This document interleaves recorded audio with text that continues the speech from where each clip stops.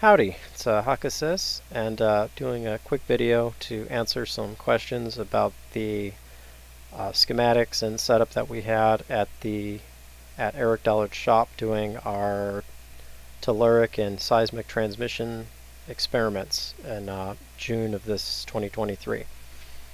So the picture here is uh, same as on the video. I'll try to attach the uh, original uh, Q&A conference. The primary purpose of this was to build a Tesla coil and matching system so that we could use the Earth as an antenna rather than using the air as an antenna.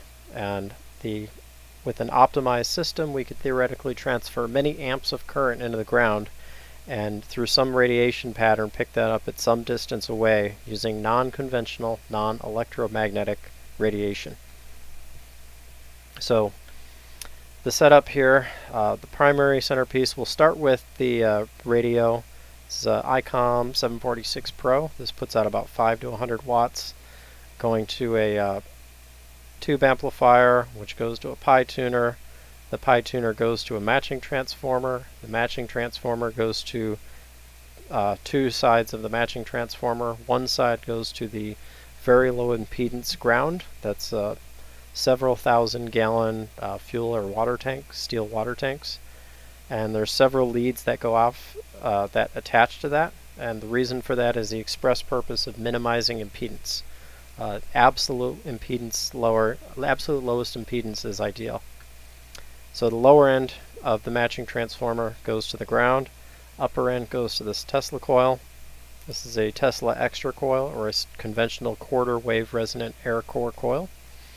The upper end of that coil goes to uh, went to a variable capacitor, and on the other end of that was the overhead aluminum aerial. Uh, aluminum overhead aerial is not meant to be a transmission line. It's actually meant to be more of a uh, tuning line, or it's meant to be a tuning line to help adjust the frequency, the resonant frequency of the Tesla extra coil. Not designed to be radiating. So this is the rough schematic, or this is the diagram of how it was configured.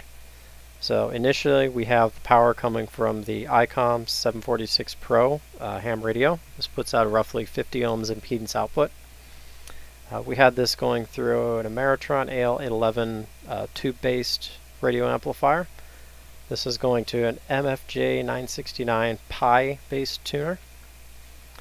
That fed into the primary side of uh, what was a couple number 43 ferrite rings that was mounted as a wound as a matching transformer. So there were six turns on the radio side, and there was two turns on the transmitter side, or on the uh, on the coil side. So one lead of that, the coil side, goes to our tank ground. Again, you want to maintain the lowest impedance practical uh, a single ground rod put into the ground or a single very long ground rod to the water table is probably not going to cut it. Uh, lowest impedance possible means several ground rods staggered over a significant distance or uh, maybe a ship or a very large plate or buried objects, buried tanks uh, because uh, the lower the ground that you get, the lower ground impedance, the more current is going to be transferred back and forth in this setup. So uh, in this case, in uh, Eric's case, the DC resistance to this is less than 1 ohm, and the active uh, impedance of it, I believe, is less than 2 or 3 ohms at uh, 2 megacycles. So the other side of this, the upper end of that goes to the lower ring of the Tesla extra coil. Uh, that is seen here as this lower ring. That feeds to the Tesla extra coil, or all of these uh, copper tubing rings. The top of that copper tube leads to the upper dielectric loading ring, which is this upper lead. That feeds into a variable capacitor, which is this uh, two-plate capacitor here.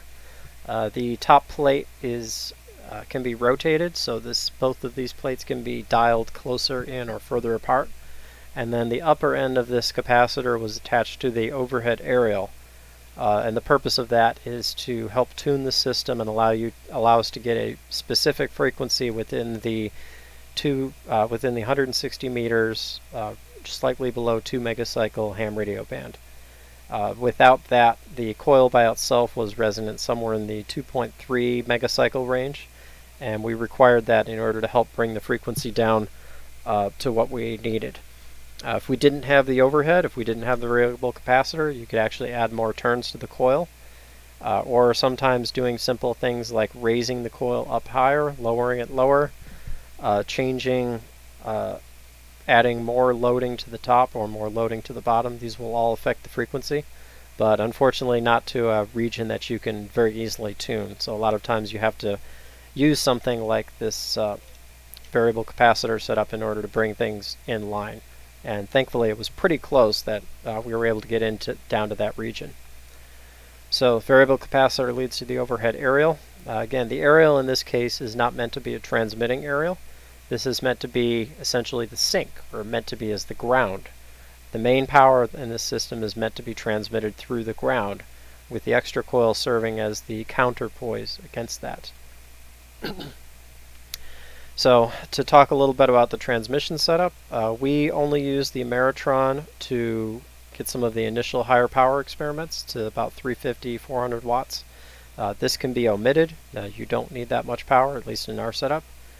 The uh, 969 Pi tuner, uh, that worked pretty good for our setup, but uh, ideally you want to, we'll say you can also experiment with a twin T tuner uh, if you have one of those. Uh, the twin T tuner generally has a ferrite ring uh, configuration anyway, so it makes it a lot easier to impedance match to very low systems. So basically, you may or may not need the ferrite matching transformer. Uh, the ferrite matching transformer is because the impedance on here is very, very low, something like 2 to 10 ohms. And uh, usually the uh, impedance on a ham radio setup is in the 300 ohms. So the, the radios are usually, it's usually meant to tune up impedance and not tune down. So a pi tuner was not ideal for this, so that's why we needed the matching transformer. Uh, talking about the extra coil itself, so, oh, and here's a couple more. This is the 746 Pro leading to the tube amplifier, leading to the Pi tuner, leading to the matching transformer, which led to the bottom ring of the radio. So, uh, as you can see, we actually use multiple leads in here to help decrease the resistance and decrease the impedance. In this case, it's plugged into a uh, uh, vector network analyzer so we could uh, help tune the initial frequency. And uh, in this case, uh, this was a thermal amp meter or an RF amp meter that helped us gauge the ground current, which also helps us measure the impedance of the system.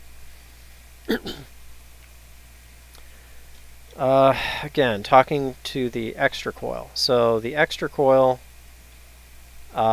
the general parameters you want on this is you want a roughly 1 to 1 height to width ratio. The reason you want that is to help balance the dielectric and magnetic fields. If your coil is very tall and very thin, it'll have a, it'll tend to dominate in the electrostatic field. So it'll have a lot of electrostatic potential, but not a lot of magnetic. Uh, likewise, if you make the coil, coil very short and stubby, very fat, uh, it will have a tend to dominate in the magnetic field and uh, have a very weak electrostatic component. So by keeping a roughly one-to-one height to width ratio, that helps join the entire system in, in one solid circuit and uh, generally improves the Q factor and overall performance.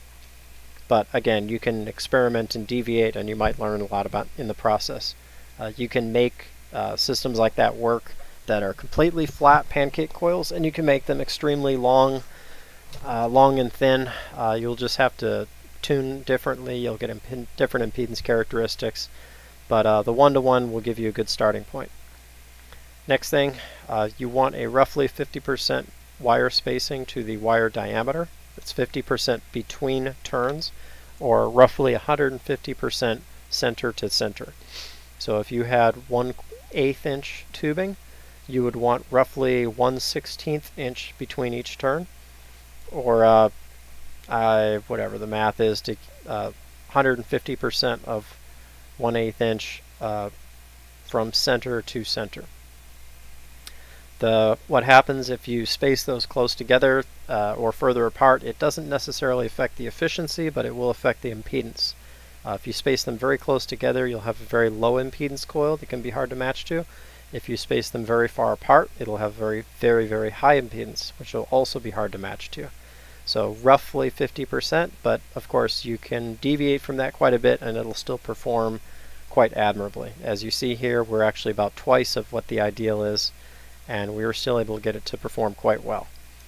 But the main critical component is your tank ground. That should be the lowest practical thing, and ideally less than one ohm. So good luck and God help you. but uh, anyway, I hope that answers some of these questions here, and uh, good luck, and uh, I hope to see other people uh, reporting the results. So, thanks for watching.